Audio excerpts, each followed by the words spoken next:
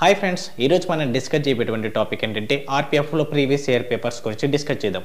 So మెయిన్గా వచ్చేసి మనకి ఈ యొక్క ప్రీవియస్ ఇయర్ పేపర్స్లో చూసుకున్నట్లయితే సో మనకి ఈ యొక్క అర్థమెటిక్ అనేది వచ్చేసి మనకి థర్టీ ఫైవ్ క్వశ్చన్స్కి వస్తాయి. అంటే థర్టీ ఫైవ్ మార్క్స్కి వస్తుంది జనరల్ ఇంటెలిజెన్స్ అండ్ రీజనింగ్ అనేది థర్టీ ఫైవ్ మార్క్స్కి వస్తుంది. అండ్ జనరల్ అవేర్నెస్ వచ్చేసి ఫిఫ్టీ మార్క్స్కి వస్తుంది. ఓవరాల్గా మనకి వన్ ట్వంటీ క్వశ్చన్స్ వస్తాయి అనమాట అయితే మనం ఈ యొక్క సెషన్లో సో మన వన్ ట్వంటీ క్వశ్చన్స్లో ఫిఫ్టీ క్వశ్చన్స్ వచ్చేసి మనకి జనరల్ అవేర్నెస్ ఉంది. ఈ జనరల్ అవేర్నెస్లో మనము ఇంపార్టెంట్ ప్రీవియస్ క్వశ్చన్స్ని బేస్ చేసుకొని మనం ఈ వీడియోలో అయితే డిస్కస్ చేద్దాము. సో ప్రీవియస్ క్వశ్చన్స్ అనేది చాలా ఇంపార్టెంట్ మనకి.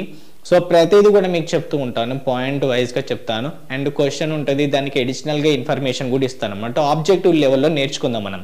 కాబట్టి అండ్ uh, ఈ చెప్పబోయేటువంటివి కూడా చాలా ఇంపార్టెంట్ కాబట్టి మీరు నెగ్లెక్ట్ చేయకండి. అండ్ మన యొక్క యూఎఫ్జే యాప్లో ఆర్పిఎఫ్ సంబంధించినటువంటి స్పెషల్ కోర్సెస్ అయితే ఇవ్వడం జరుగుతుంది. ఆల్రెడీ కోర్సు తీసుకున్న వాళ్ళకి ప్రీవియస్ క్వశ్చన్స్ అన్ని కూడా అయితే డిజైన్ చేస్తున్నాం. అన్ని కూడా అయితే అప్లోడ్ చేస్తాం. సో కాబట్టి ప్రీవియస్ పేపర్స్ అనేది పంచి అయితే ప్రిపేర్ అవ్వండి. ఖచ్చితంగా మీకు వీటి కోసం అయితే చాలా అంటే చాలా ఎక్కువగా అయితే మేము హండ్రెడ్ పర్సెంట్ ఫోకస్ చేద్దాం. ఈసారి జాబ్ వచ్చే విధంగా. సో ఎనీవే మనకైతే ఈ ప్రీవియస్ పేపర్స్ అనేది మనకి యూఎఫ్జీ యాప్లో ఉంటాయి. సో యాప్ లింక్ కూడా నేను డిస్క్రిప్షన్లో ఇచ్చేస్తాను అండ్ కామెంట్లో కూడా పిన్ చేస్తాను. యాప్ ఖచ్చితంగా డౌన్లోడ్ చేసుకొని మంచి కోర్స్ తీసుకోండి. ప్రైస్ అనేది తక్కువగా ఉంది కాబట్టి. UFJ app SSC GD army navy air force coast guard NDA వంటి ఉద్యోగాల కోసం యుఎఫ్జే యాప్లో ఆన్లైన్ కోచింగ్ ఇవ్వడం జరుగుతారు కేవలం అతి తక్కువ ఫీజుతో ఆఫ్లైన్ కోచింగ్లకు మించి best ఫ్యాకల్టీస్తో classes daily and grand test previous papers study materials assignments ఇంకా మరెన్నో జాబ్ సాధించాలనే పట్టుదలతో సిన్సియర్గా ప్రిపేర్ అవ్వాలనుకుంటే యుఎఫ్జే యాప్ ఒక్కటే నీకు సరైనది. వెంటనే మీ మొబైల్లో ప్లే స్టోర్ లేదా యాపిల్ స్టోర్కు వెళ్ళి యుఎఫ్జే యాప్ డౌన్లోడ్ చేసుకుని మీకు కావలసిన కోర్సు తీసుకుని ఈ రోజే మీ ప్రిపరేషన్ మొదలు పెట్టండి. మీ లక్ష్యాన్ని చేరాలంటే లక్షలు కట్టాల్సిన అవసరం లేదు. కోర్సు వివరాల కోసం సంప్రదించండి. Seven six seven four nine two double four one six ఆర్పిఎఫ్లో getting కావాలంటే ఖచ్చితంగా మీరైతే ఈ టైప్ ఆఫ్ బిట్స్ అయితే నేర్చుకోవాలి. ప్రీవియస్లో అడిగినటువంటి క్వశ్చన్స్ కాబట్టి చాలా జాగ్రత్తగా తెలుసుకోండి. ఇక్కడ డిస్ప్లే మాత్రం ఇంగ్లీష్లో ఉంటుంది. కానీ నేను తెలుగులో ఎక్స్ప్లెయిన్ చేస్తూ ఉంటాను. ఫర్దర్గా వచ్చే వీడియోస్కి మీకైతే తెలుగు ఇంగ్లీష్ రెండు లాంగ్వేజ్లో ఉంటుంది. ఓకే నేను తెలుగులోనే మాట్లాడతాను మీకు ఏం ప్రాబ్లం లేదు. ఓకే రైట్ ఫస్ట్ క్వశ్చన్ చూడండి. స్పీడ్ స్పీడ్గానే చెప్దాం. ఎందుకంటే మనకి చాలా క్వశ్చన్స్ కూడా ఉంటాయి కాబట్టి. Who among the following was the first president of Pakistan Pakistan యొక్క ఫస్ట్ ప్రెసిడెంట్ ఎవరని అని అడుగుతున్నారు. Okay right clear so option A BCD వీటిలో ఆన్సర్ ఏంటిదంటే ఇష్కందర్ మీర్జా. ఇష్కందర్ మీర్జా. సో ఇష్కందర్ మీర్జా. సో ఇప్పుడు ఇక్కడ ఇచ్చినటువంటి అన్ని అడిషనల్ ఇన్ఫర్మేషన్ కూడా మనం ఖచ్చితంగా నేర్చుకోవాలి కావాలనే మీకోసమే ప్రొవైడ్ చేస్తున్నది. ఓకే నెక్స్ట్ క్వశ్చన్ చాలా ఇంపార్టెంట్ ఇది. ఇందాకది అంతగా ఎక్స్ప్లెయిన్ చేయకపోయినా ఇక్కడ చూడండి. చాలా important when was WTO established WTO అంటే అబ్రివేషన్ ఏంటి? అంటే వరల్డ్ ట్రేడ్ ఆర్గనైజేషన్ ఇవంతా కూడా UNO related okay so WTO full form ఏంటి అని అంటే వరల్డ్ ట్రేడ్ ఆర్గనైజేషన్ ఇది చాలా ఇంపార్టెంట్. అండ్ దీనికి సంబంధించిన కొన్ని బిట్స్ కూడా అయితే వస్తుంటాయి అనమాట ఓకే దీని యొక్క హెడ్ క్వార్టర్ ఎక్కడ ఉంది అంటారు? సో యాక్చువల్గా అడిగినటువంటి క్వశ్చన్ ఏంటంటే ఏ ఇయర్లో ఎస్టాబ్లిష్ చేశారని. సో అది మనం తెలుసుకుందాం. దీని యొక్క ఏదైతే హెడ్ క్వార్టర్ ఎక్కడంగా ఉంటుందంటే స్విట్జర్లాండ్ స్విట్జర్లాండ్లో జెనీవాలో ఉంటుంది దీని యొక్క హెడ్ హెడ్ క్వార్టర్ అనేది. ఓకేనా స్విట్జర్లాండ్ క్యాపిటల్ సిటీ ఏంటిది? అది మీరు తెలుసుకోవాలి ఖచ్చితంగా. ఓకే కమెంట్స్ పెట్టండి. దాని నెక్స్ట్ ఇది యొక్క ఏ ఇయర్లో ఎస్టాబ్లిష్ చేశారంటే నైన్టీన్ నైన్టీ ఫైవ్లో ఎస్టాబ్లిష్ చేశారు. ఇప్పుడు ఇంతమంది ఎన్ని కంట్రీస్ ఉన్నాయి? ఇందులో మెంబర్స్ ఎన్ని కంట్రీస్ ఉన్నాయి? అంటే వన్ సిక్స్టీ ఫోర్ మెంబర్స్ ఉన్నారు. ఇండియా కూడా అందులో ఇన్క్లూడే ఓకే రైట్ సో ఆన్సర్ వచ్చేసి అప్పుడు ఏమవుతుంది? నైన్టీన్ నైన్టీ ఫైవ్ క్లియర్ కదా? మనం ఎన్ని బిట్స్ నేర్చుకున్నాం? డబ్ల్యూటీఓ ఫుల్ ఫామ్ ఏంటి? ఏ ఇయర్లో ఎస్టాబ్లిష్ చేశారు? అండ్ నెక్స్ట్ వచ్చేసి మనకి అది హెడ్ క్వార్టర్ ఎక్కడ ఉంది? ఇవి చాలా ఇంపార్టెంట్ ఇండియా ఈ మెంబర్ అందులో వన్ సిక్స్టీ ఫోర్ మెంబర్స్ ఉన్నారు. Okay right clear next question చాలా ఇంపార్టెంట్ ఇది కూడా. What is the pH value of pure water pure water అంటే rain water also pure water clear so మన ఇక్కడ పిహెచ్ వాల్యూస్ అనేది చాలా ఇంపార్టెంట్ ఈ పిహెచ్ పిహెచ్ యొక్క ఫుల్ ఫామ్ ఏంటి? పిహెచ్ యొక్క ఫుల్ ఫామ్ ఏంటి? Power of hydrogen power of hydrogen is the pH full form and దీని యొక్క పిహెచ్ అనేది మనం అన్నాం. పిహెచ్ అనేది పవర్ ఆఫ్ హైడ్రోజన్ అంటే హైడ్రోజన్ పవర్ ఎంత ఉందని మనం ఐడెంటిఫై చేస్తాం. అయితే ఆ ఐడెంటిఫై చేసేటువంటి స్కేల్ పిహెచ్ స్కేల్ అంటాం. పిహెచ్ స్కేల్ని um, తోటి మెజర్ చేస్తాం. సో ఇలా మెజర్ చేసినప్పుడు ఆ స్కేల్ యొక్క రేంజ్ అనేది ఎంత?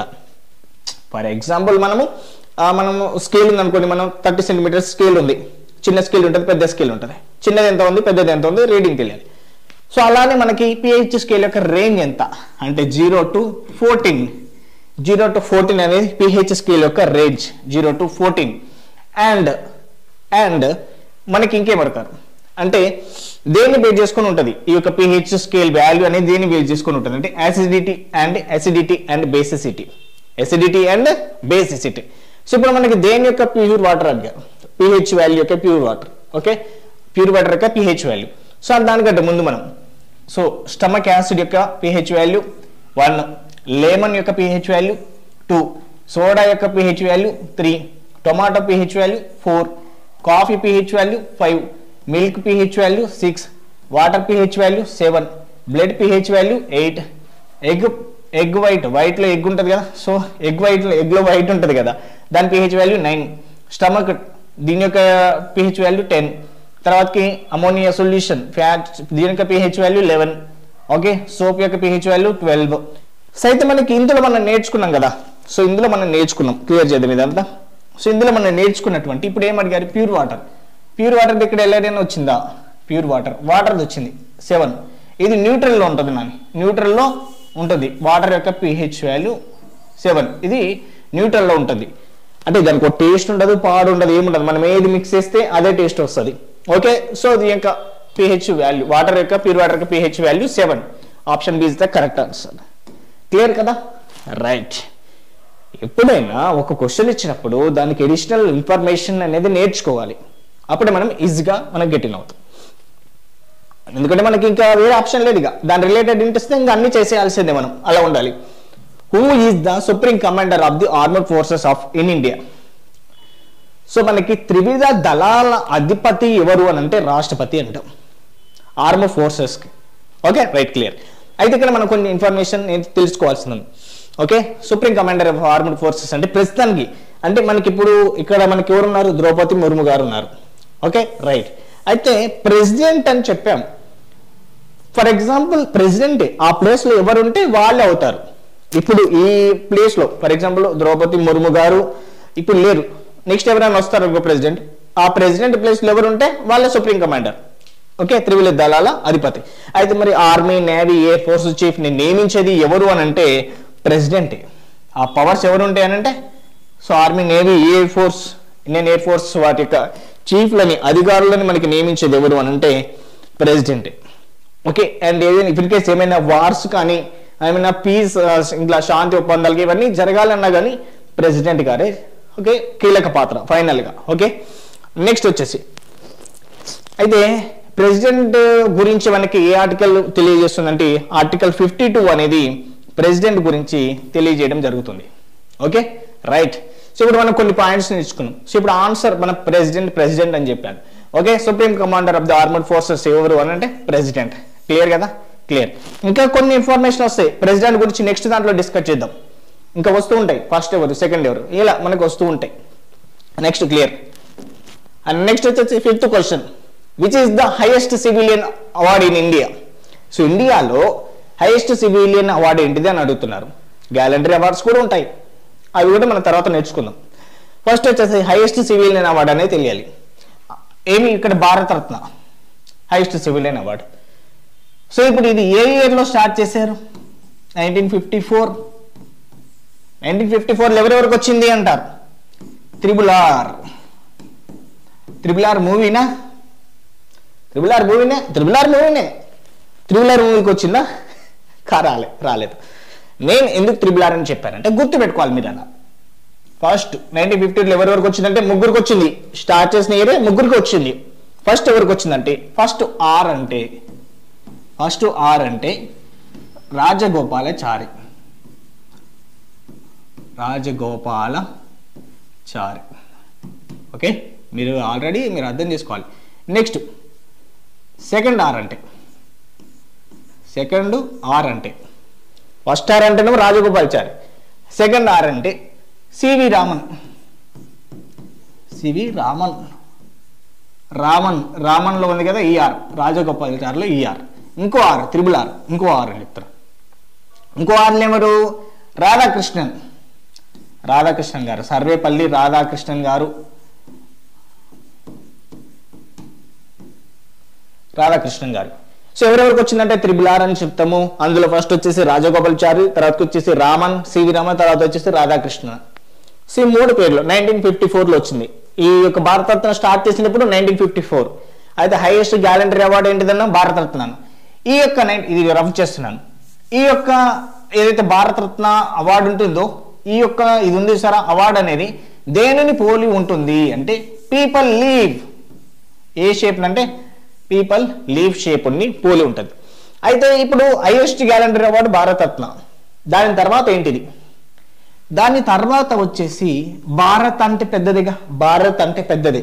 కాబట్టి అది ఓకే ఫస్ట్ భారత్ అంటే పెద్దది కాబట్టి అది ఫస్ట్ ప్రియారిటీ సెకండ్ వచ్చేసి వచ్చేసి పద్మ విభూషణ్ పద్మ విభూషణ్ అంటే పేరు పెద్దగా ఉంది చాలా పెద్దగా ఉంది. కాబట్టి ఇది సెకండ్ పొజిషన్ థర్డ్ వచ్చేసి పద్మభూషణ్.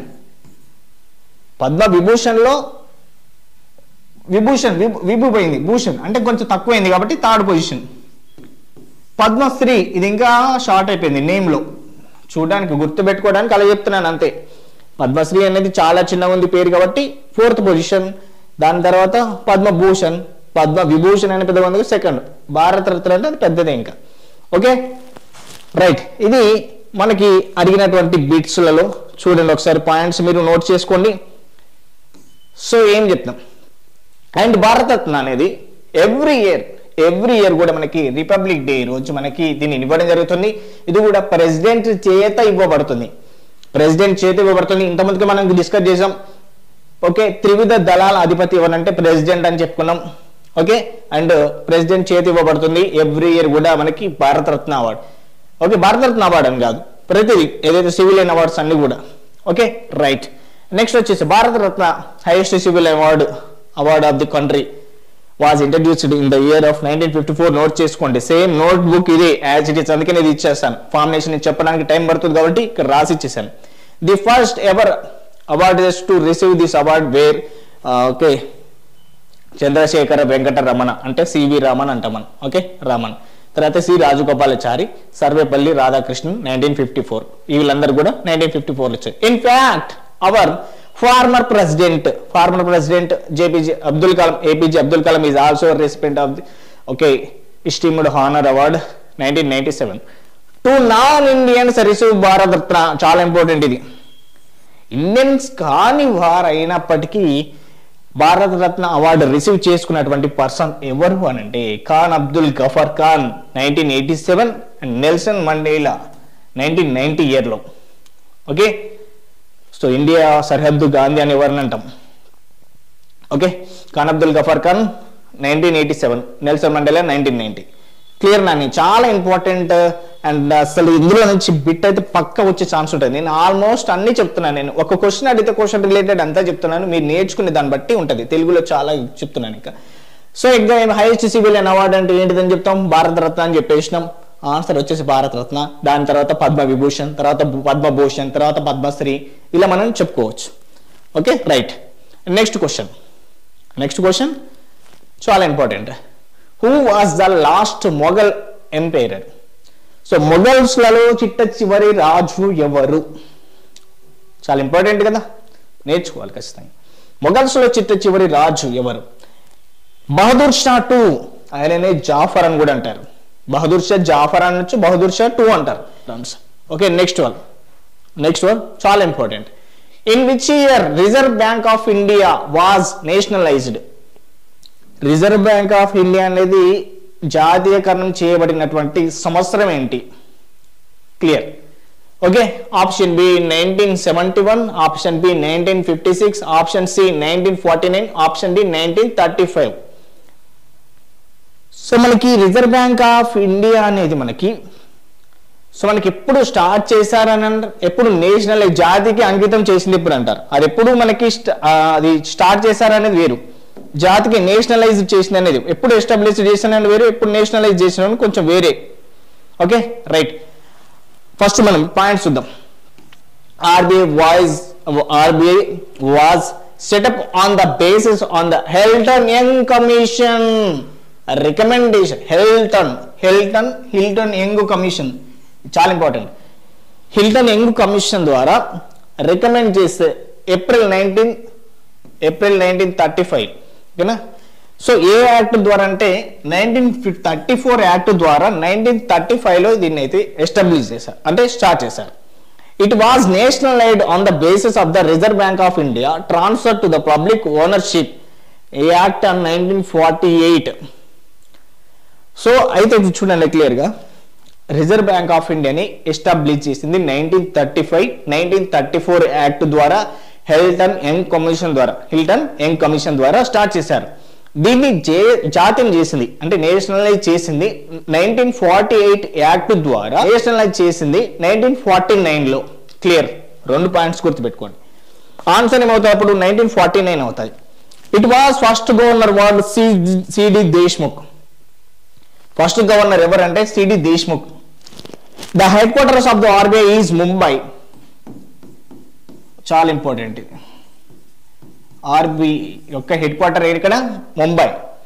అండ్ చాలా ఇంపార్టెంట్ మళ్ళీ ఒకసారి చూడండి. ఆర్బీఐ ఫుల్ ఫామ్ కూడా తెలియాలి మీకు. రిజర్వ్ బ్యాంక్ ఆఫ్ ఇండియా ఎప్పుడు స్టార్ట్ చేశారు అని అంటే నైన్టీన్ థర్టీ ఫైవ్ అంటాం. ఎప్పుడు నేషనలైజ్ చేశారంటే నైన్టీన్ ఫార్టీ నైన్ అంటాం. సో ఏ యాక్ట్ ద్వారా స్టార్ట్ చేశారంటే నైన్టీన్ థర్టీ ఫోర్ అంటాం. ఇక్కడ ఏ యాక్ట్ ద్వారా నేషనలైజ్ చేశారంటే నైన్టీన్ ఫార్టీ ఎయిట్ అంటాం. రీజన్ ఎలా అంటే హెల్టన్ యంగ్ కమిషన్ ద్వారా. ఓకే? ఇది క్లియర్. డౌట్స్ ఏమన్నా and first governor C D Deshmukh head quarter Mumbai. Clear. Clear కదా? Clear right. నెక్స్ట్. అయిపోయింది కదా